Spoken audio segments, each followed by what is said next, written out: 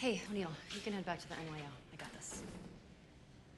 Hey, Hey, kiddo, what are you doing here? I just wanted to see if you needed any help.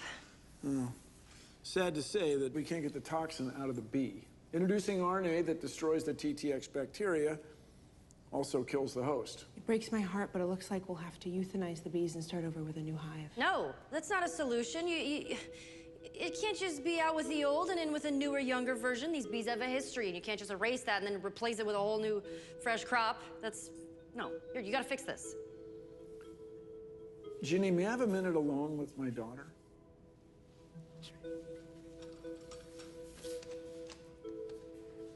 This isn't about bees, is it, kiddo? I'm not replacing you with Ginny. Nothing can replace a child. It's just that you have your own important and very busy life these days. We're like uh, Neptune and Pluto. We're in different orbits. You're calling me a dwarf planet?